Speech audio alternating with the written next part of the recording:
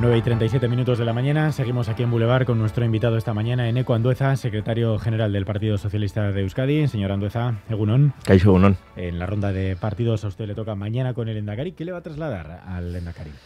Bueno, yo lo que le voy a trasladar es la capacidad que tiene el Partido Socialista como miembro del gobierno vasco de aportar medidas que de alguna manera complementen a las que ya se han adoptado desde el gobierno de España. Yo creo que afortunadamente tenemos un gobierno a nivel nacional que ha sabido reaccionar, que incluso ha marcado el ritmo a nivel europeo en lo que es la toma de decisiones frente a una situación que es tremendamente grave y, delicada, que incluso puede prolongarse en el, en el tiempo, pero desde luego eh, ha demostrado mm, ser un gobierno en el que se puede confiar. ¿no? Por tanto, creo que siguiendo esa estela, lo que se le puede trasladar al, al Endacari, como ya lo han hecho los miembros del Partido Socialista que están en el gobierno, es la necesidad de, de complementar esas medidas que ha adoptado el gobierno de, de, España para, de alguna manera, y desde Euskadi, contribuir a que la situación eh, económica y socialmente pues, no tenga consecuencias más graves de las que está teniendo derivadas pues, bueno, pues de una actitud absolutamente incomprensible de, Putin a través de esa invasión de Ucrania. ¿Y qué medidas podrían estar en manos del gobierno vasco? Porque también ahora se están haciendo muchas eh, alusiones a la fiscalidad, de la que luego hablaremos, pero bueno, la fiscalidad es verdad que es competencia de las diputaciones. En manos del gobierno vasco, del que como dice su partido forma parte, ¿qué tipo de medidas se podrían tomar? Yo creo que se pueden tomar muchas medidas, ¿no? Y aquí yo creo que tenemos que poner el foco también en el nivel de autogobierno que tenemos, algo que tenemos que valorar muy positivamente, ¿no? En Euskadi gestionamos 96 de cada 100 euros y desde luego nuestro nivel competencial, nuestro nivel de autogobierno es elevadísimo. Por tanto, a través de esas competencias que tenemos transferidas, creo que tenemos capacidad de tomar eh, medidas en, todos los aspectos o muchos aspectos y desde luego desde todos los departamentos, ¿no? Bien, en la derivada que afecta al ámbito económico en cuanto a, la situación que están viviendo muchas empresas y desde luego también eh, en, lo que se refiere a las, personas, que creo que en el fondo es lo que hay que poner en, el centro, ¿no? las personas, esas derivadas económicas, esas situaciones que están viviendo en nuestro día a día y que desde luego también requieren de una respuesta en el transporte público, en la vivienda, en el empleo, en el consumo, departamentos que desde luego están gestionados por el Partido Socialista y que también, por supuesto, tendrán la respuesta correspondiente en formas de medidas que, como decía, complementen las que ya ha puesto en marcha el Gobierno de España. ¿Qué debería hacer el Gobierno con el remanente que sobró de los últimos presupuestos? Eh, ¿Invertirlo, guardarlo?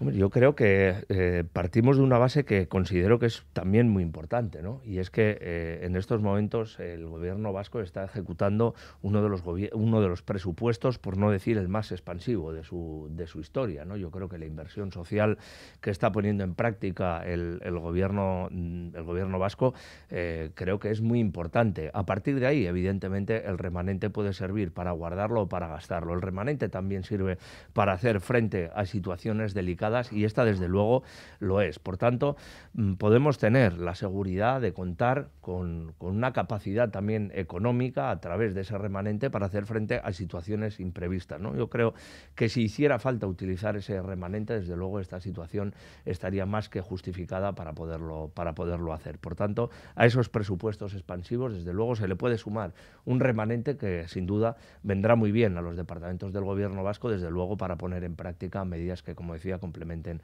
las ya puestas en marcha por el Gobierno de España. ¿Hay que tocar la fiscalidad en Euskadi? Bueno, a la fiscalidad quizá habrá, que, habrá que revisarla desde luego de manera conjunta, ¿no? porque muchas veces estamos acostumbrados a tocar la fiscalidad de manera puntual, pero no a realizar una reflexión sobre nuestra situación fiscal desde luego de manera mucho más conjunta. Me parece que son reflexiones que no se pueden hacer a la ligera y desde luego una revisión de nuestra fiscalidad va a requerir del tiempo y sobre todo de de la reflexión necesaria, ¿no? que requiere un tema tan nuclear como, como, este. Yo creo que la situación fiscal que está viviendo en estos momentos Euskadi y las tres diputaciones forales es muy positiva, con un nivel de recaudación que me parece que es muy alto, que es muy positivo sobre todo para hacer frente a situaciones como la que estamos viviendo y desde luego siempre hay tiempo para reflexionar en torno a la fiscalidad y desde luego para hacerla lo más competitiva posible. ¿Los empresarios vascos prefieren la fiscalidad de Madrid que la fiscalidad de Euskadi? Bueno, pues no lo sé, eso habrá que preguntárselo a ellos. Yo desde luego prefiero la Fiscalía de Euskadi, desde luego el discurso de responsabilidad que hacemos los partidos que estamos en el gobierno en, Euskadi. ¿no? Cuando el Partido Popular y especialmente alguno de sus líderes, alguna de sus lideresas realiza eh, cierto tipo de, discurso, desde luego está practicando un discurso que sin duda es engañoso, que a vista de la mayoría de la ciudadanía pues puede ser un discurso muy, muy comprable, pero que después esconde una realidad muy distinta por detrás. Cuando desde el Partido Popular se está diciendo, desde, vamos a decir, desde la Comunidad de Madrid, Isabel Díaz Ayuso está diciendo que hay que bajar los impuestos a toda costa y que hay que bajarlos porque sí, porque es bueno para este país, en el fondo lo que está diciendo es que detrás de esa bajada de impuestos se está beneficiando a unos pocos y se está perjudicando a una mayoría. Es decir, cuando el Partido Popular habla de bajar impuestos, está hablando de recortar y de empeorar los servicios públicos que sobre todo dan servicio a los que más lo necesitan. ¿no? Por tanto, hay que ser muy prudente con este tipo de discursos y sobre todo hacer una lectura de lo que hay detrás. En este caso, los discursos populistas desde luego traen bastante más perjuicio que beneficio a la ciudadanía. ¿Le sorprende la expectación que ha generado la visita de Ayuso este viernes a Euskadi, a Vitoria? Bueno, eh, es lo que genera un, tipo de, personaje de este, de este tipo. ¿no? Desde luego, eh, a la vista de las declaraciones que, que hace, no me extraña que pueda suscitar determinado interés. Otra cosa es que después lo que diga tenga el calado que, tenga, tenga la seriedad que tenga y, como decía, tenga lecturas que desde luego hay que realizar de manera eh, no superficial, sino, sino muy, muy profunda. ¿no? Yo entiendo que en estos momentos es una figura que representa lo que representa dentro del Partido Popular y, desde luego, el Partido Popular en, Euskadi parece ser que un fin de semana entroniza a Alberto Núñez Fijó y esa misma semana se trae a Isabel Díaz Ayuso, que desde luego, bajo mi punto de vista, lo que está poniendo en práctica es una guerra subterránea, probablemente para, para en algún momento pues, eh, poner una, una pica en Flandes y desde luego aspirar a lo que ahora mismo es Alberto Núñez Fijó. ¿Es populismo lo que hace Ayuso? Sin duda alguna. Es populismo y es irresponsabilidad. Tenemos que recordar que cuando Isabel Díaz Ayuso estaba proclamando esa libertad de, las cañas y el holgorio en medio de una pandemia en Madrid, miles de madrileños y madrileñas estaban falleciendo por el deficitario servicio sanitario que estaba dando en su, en su comunidad. Muchas veces los titulares, las declaraciones pomposas y estridentes tienen por detrás una falta de liderazgo evidente que desde luego se traduce en malos servicios públicos y unas deficiencias que desde luego en este caso la las está pagando el pueblo, el pueblo de Madrid. Yo desde luego no quiero eso para, para Euskadi, no quiero eso para mi país y desde luego tengo eh, muy claro que el rumbo político que tiene que tener este país es el de un gobierno serio, el de un gobierno responsable y no el de un gobierno populista como el de Isabel Díaz Ayuso. Enseguida le voy a preguntar también por Feijo, pero por cerrar el tema de impuestos, eh, ¿ha llegado el momento de subir los impuestos a los que más ganan? Hombre, evidentemente yo creo que la progresividad es algo que tiene que estar siempre muy, muy presente y es una senda que no la debemos de abandonar nunca. Y en momentos de crisis, en momentos delicados, desde luego, sin duda alguna, si hay que retocar la fiscalidad, desde luego tiene que ser para que aporten más los que más tienen, para ayudar a los que menos tienen. Eso es solidaridad y eso desde luego es muestra de una sociedad que desde luego está sana y desde luego corresponde y hace frente a las situaciones delicadas de la manera más justa y más solidaria posible. Eh, Alberto Núñez Feijo, el nuevo presidente del PP, ha dicho que está dispuesto a explorar grandes pactos con el Partido Socialista. Eh, ¿Se lo cree? ¿Cree que el talante de Feijo va por esta línea y que puede llegar un momento que se pueden vislumbrar eh, grandes pactos, digamos, de país? Bueno, de momento yo lo que he observado es que a lo largo de esta semana, probablemente la siguiente, como muy tarde, la primera gran decisión que va a tomar Alberto Núñez Feijóo es la de firmar un acuerdo de gobierno en Castilla y León con Vox. Por tanto, bueno, no sé si en estos momentos Alberto Núñez Feijóo puede contar con la credibilidad que merece el principal partido de la oposición. Yo a los hechos me remito y el movimiento se demuestra andando y de momento lo único que ha demostrado el Partido Popular es que es preso de la extrema derecha, que está tirado en los brazos de la extrema derecha y en tanto en cuanto no pongan distancia y desde luego sean contundentes con esa extrema derecha, me parece que el discurso de Alberto Núñez Feijóo tiene poca credibilidad entre nosotros. Pero hay quien dice, y también es cierto, que para hacer frente a la ultraderecha, derecha, eh, o para que tenga el PP una alternativa, pues hay que tenderle la mano, ¿no? Eh, y el Partido Socialista también estaría dispuesto a tender la mano al Partido Popular para evitar que la ultraderecha entre en las instituciones. Nosotros en Castilla y León se la atendimos, y no se la atendió únicamente el candidato socialista Luis Tudanca, sino que además lo hizo el propio presidente del gobierno en una sesión de control en el Congreso de los Diputados. Le dijo que si rompía amarras con la extrema derecha, desde luego contaría de alguna manera con el apoyo del Partido Socialista, entre otras cosas, para frenar el auge de la extrema derecha que la está propiciando el propio Partido Popular, que tenía que romper amarras en Madrid, en Murcia, en Andalucía en Castilla y León, por supuesto, y que a partir de ahí, evidentemente, eh, nosotros estábamos dispuestos a colaborar con el Partido Popular para hacer de muro de contención de esa extrema derecha. La respuesta del Partido Popular fue clara, darle la presidencia de las Cortes a Vox y, desde luego, establecer unos mecanismos de negociación que parece ser que han dado sus frutos y que se está esperando a esta semana, una vez que ya se ha entronizado Alberto Núñez Fijo para firmar un acuerdo de gobierno con Vox. Por tanto, de momento creo que la actitud del Partido Popular en este sentido deja mucho que desear. Eh, cada uno pone las condiciones que quiere, eso también es verdad, y, eleva el listón hasta donde quiere, pero mm, recientemente decía el Lendakari que igual ha llegado el momento, y creo que se refería también más a niveles de pactos de Estado, eh, de que pueda haber pactos de, entre Partido Socialista, Partido Popular, que incluso el PNV podría entrar ahí, haciendo un poco referencia al hacer frente a la ultraderecha. ¿Usted comparte esta visión o esta eh, perspectiva del Lendakari? Yo creo que los acuerdos de país, los pactos de, de Estado, siempre son positivos, pero para eso hay que tener responsabilidad de Estado y sentido de país. Y el Partido Socialista siempre lo ha tenido. Y tengo que recordar que en momentos en los que el Partido Popular estaba gobernando este país, en momentos determinantes, cuando, por ejemplo, más estaba azotando el terrorismo a este país, el Partido Socialista, desde su responsabilidad, firmó un pacto antiterrorista, como en otros momentos ha firmado otros pactos de país que creo que han traído mucho beneficio a, la ciudadanía. Pero para eso hay que tener sentido de país. El Partido Socialista lo tiene cada vez que el Partido Socialista ha puesto encima de la mesa la posibilidad de firmar un acuerdo de país con otros partidos, el primero que le ha dicho que no ha sido el Partido Popular. Yo creo que no hay mayor ejercicio eh, en forma de acuerdo de país que haber presentado una serie de medidas que desde luego eh, hacer un recorrido por toda Europa como el que ha hecho el presidente del gobierno Pedro Sánchez, mostrando un liderazgo y una determinación que me atrevo a decir que ha sido la máxima a nivel europeo eh, en cuanto a, líderes de, gobiernos y de, y de estados y no ha tenido el acompañamiento de muchos de los partidos políticos que en estos momentos y por desgracia en estas circunstancias están haciendo cálculos electorales. No es momento de cálculos electorales, es momento de unidad de acción, de determinación y desde luego demostrar esa unidad en torno al gobierno que haga posible que superemos esta situación tan grave de la mejor manera posible. Diría que el Endacari tiene más sentido de país que, que el Partido Popular. Pues no lo sé. Bueno, en algunos momentos, eh, desde luego, me imagino que sí, ¿no? Yo al Lendakari le tengo, por supuesto, por una persona responsable, no le tengo por una persona que esté constantemente haciendo cálculos electorales como hacen, como hacen otros, ¿no?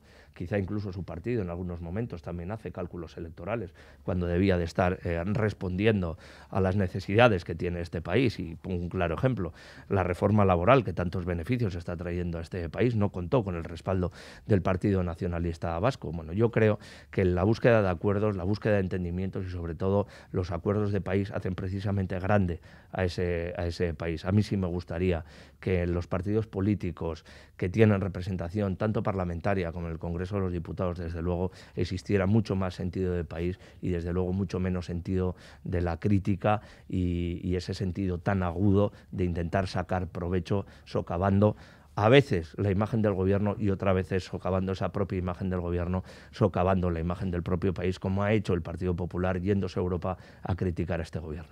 Em, parece que el Endacari se lleva mejor con Feijó que con Casado, o eso dicen.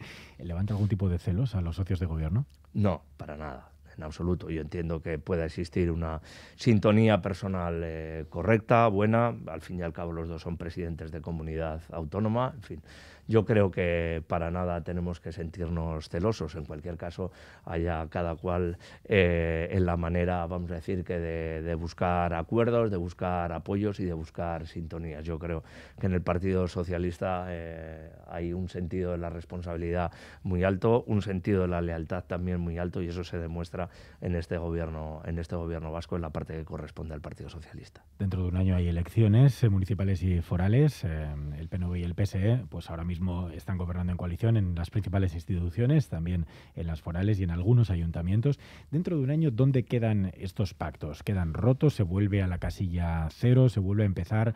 ¿O, confía en que puedan mm, de alguna manera prorrogarse o mantener esa, eh, digamos, ese espíritu de, estos dos socios tradicionales? Bueno, los pactos evidentemente se revisan una vez de que pasan las elecciones eh, municipales y una vez de que pasen esos comicios locales, evidentemente, y forales, tendremos que revisarlo, tener, tendremos que hacer un repaso de lo que ha sido esta legislatura, de cuáles han sido los puntos fuertes, de cuáles han sido los puntos débiles, que también los ha habido, y en función de la reflexión que hagamos y de los resultados que tengamos, evidentemente, pues habrá que replantearse, habrá que reformular, habrá que reforzar o habrá que dejar sin efectos en función de, las decisiones que, tomemos. De momento, eh, llevan ya tres años en estos, eh, en estos pactos, digamos, de forales y municipales. Eh, les, ¿Qué nota les pondría? ¿Les, les aprobaría? Yo creo que sí, yo los aprobaría, pero también he hecho en falta una mayor lealtad por parte del Partido Nacionalista Vasco en aquellos lugares donde está gobernando el Partido Socialista. Y lo digo claramente, se lo he dicho a ellos y, lo expreso públicamente porque, porque así lo siento, ¿no?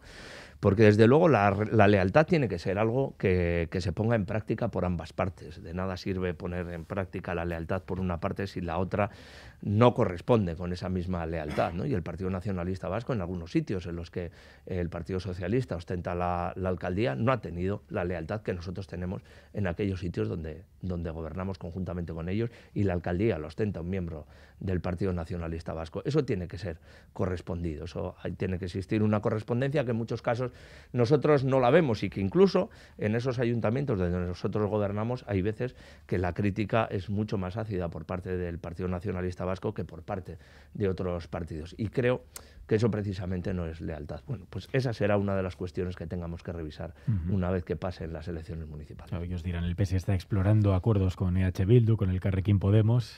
No, nosotros estamos buscando la estabilidad que, necesitamos, desde luego, para responder desde la responsabilidad a los compromisos que hemos adquirido con la ciudadanía y necesitamos una mayoría. Si el PNV no se presta a darnos esa mayoría, evidentemente nuestra responsabilidad es buscarla en otros partidos y, desde luego, de manera puntual, eh, hacer posible tener esas mayorías para desarrollar esos proyectos estratégicos que tenemos en esas, en esas localidades, incluso muchas veces para poder sacar adelante los presupuestos que lo puedan hacer posible. Bueno, si tienen quejas podrían ir a más dentro de un año esas alianzas. No, si, si, si, tienen quejas sobre esa actitud, desde luego la respuesta es muy clara. Bueno, tenos ustedes esa estabilidad y entonces nosotros no tendremos que ir a otros lugares a buscar. Eh, en Euskadi hay algunos pactos, digamos, de país que pueden ser un ejemplo de lo que quizá debiera de ser la política. ¿no? Eh, uno de ellos es el de las bases de, la ley de educación, que este jueves además se va a ratificar eh, en el Parlamento Vasco, salvo sorpresas, no creo que, las haya. ¿Qué balance hace de lo que se ha conseguido y hasta qué punto el PS está satisfecho? Porque también parece que en el euskera hubo algunas discrepancias. ¿Finalmente están 100% satisfechos? Sí, nosotros estamos satisfechos.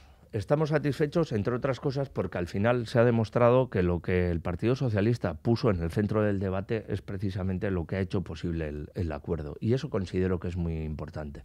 Algunos han querido ver debates artificiales, por ejemplo, en torno a la lengua. No, no, si es que nosotros no hemos visto ningún debate en torno a la lengua, sino todo lo contrario. Nosotros hemos reforzado el papel de las lenguas en la educación vasca. Y desde luego hemos hecho posible que los alumnos y las alumnas de Euskadi tengan la oportunidad de tener tres lenguas vehiculares en su educación. A partir de ahí hemos puesto en el centro la educación pública, hemos puesto en el centro la necesidad que tienen que tener esos centros eh, públicos para tener cierta autonomía, tomar sus decisiones en función de la situación, eh, vamos a decir que social que, tengan. Desde luego hemos hecho posible que la, que la escuela concertada eh, tenga un mayor compromiso en la medida en que recibe dinero público y desde luego poner el foco en los resultados, que creo que es más lo más importante. ¿no? Creo que tenemos tenemos un margen de mejora eh, muy interesante ahí, que tenemos mucho que hacer para que el rendimiento de los alumnos y de las alumnas sea el mejor y desde luego con mucho esfuerzo, con mucho debate, hemos conseguido que aquellas cuestiones que considerábamos nucleares hayan sido el eje de la negociación